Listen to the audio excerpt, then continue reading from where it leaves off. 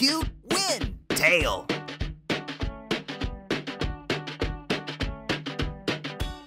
Tibs here, your host for Cute Win Tail. Each week we watch a cute clip, one win clip, and one tail clip. Then you guys vote for the clip you think deserves best in show. And the losing clips gets the bones of death. Vote by leaving a comment of cute, win, or tail. Thought I smelled bacon. This week's theme dogs versus babies. Uh, oh, uh, clip time. Is this baby being raised by dogs? I think the baby just bit that dog.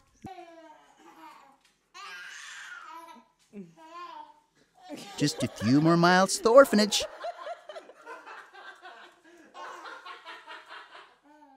That's a cute. Next clip.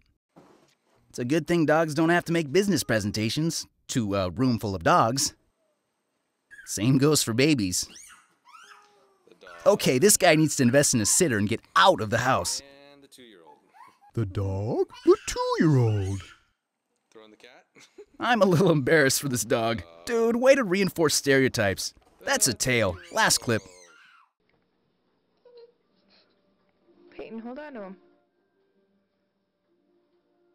Bam! Who's the boss now, baby?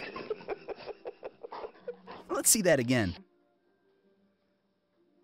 Look at the dog's face. He's like, What are you doing? My breed has problems with hip dysplasia.